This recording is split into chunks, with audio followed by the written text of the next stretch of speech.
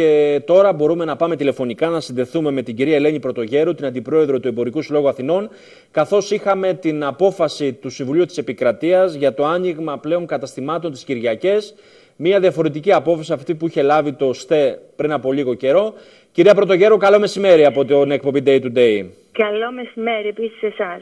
Λοιπόν, τι σημαίνει τώρα αυτό για τον εμπορικό κλάδο και για τον εμπορικό κόσμο της χώρας αυτή η απόφαση, κυρία Πρωτογέρου. Ακριβώς. Δεν είναι ακριβώς έτσι ότι είναι να είναι ανοιχτά όλες τις Κυριακές στα καταστήματα. Έτσι. Απλώς να αρχίσουμε λίγο το ιστορικό να δούμε τι έχει γίνει. Υπάρχει μια απόφαση της Ολομέλειας του Συμβουλίου της Επικρατείας το 2017 όπου είχε κρίνει ότι το Σύνταγμα κατοχυρώνει το δικαίωμα της Κυριακάτικης Αργίας. Αυτό τελείωσε.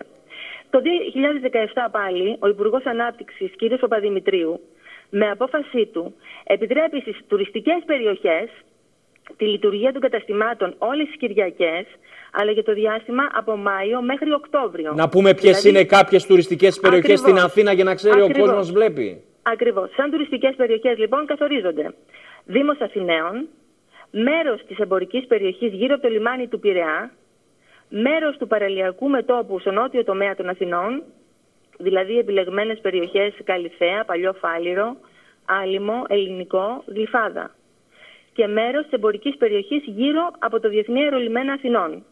Η απόφαση αυτή περιλαμβάνει επίσης και, το, και μέρος του, του ιστορικού κέντρου της Θεσσαλονίκης. Τώρα τι γίνεται; Εναντίον αυτής της απόφασης προσέφηκαν 29 φορείς. Κάποιοι άλλοι φορείς παρενέβησαν υπέρ της απόφασης, όπως ο ΣΕΒ, ΣΕΛΤΕ κτλ.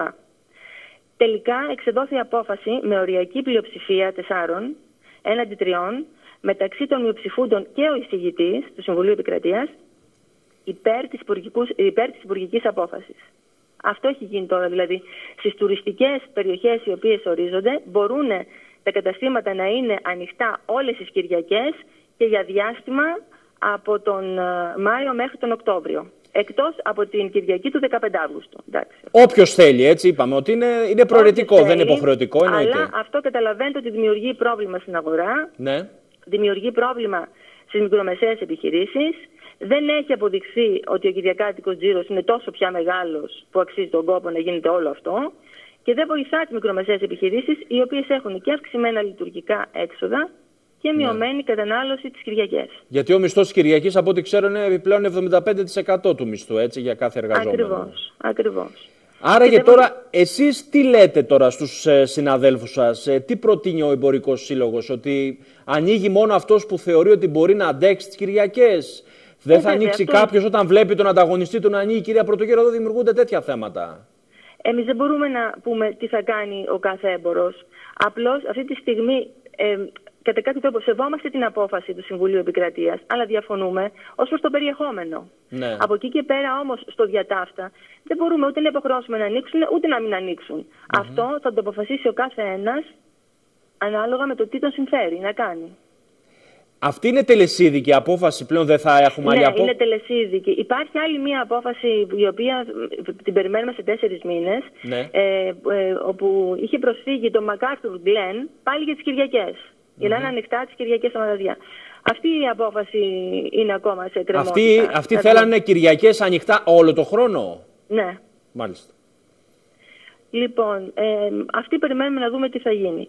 Το θέμα είναι ότι υπάρχει τέλος πάντων ένα σκεπτικό ότι βοηθάει αυτό την τόνωση Δηλαδή, ε, το, άνοιγμα των Κυριακο... το άνοιγμα των καταστημάτων στις Κυριακές στις τουριστικές περιοχές, όπως αυτές ορίζονται, βοηθάει την τόνωση του εμπορίου και, και του τουρισμού.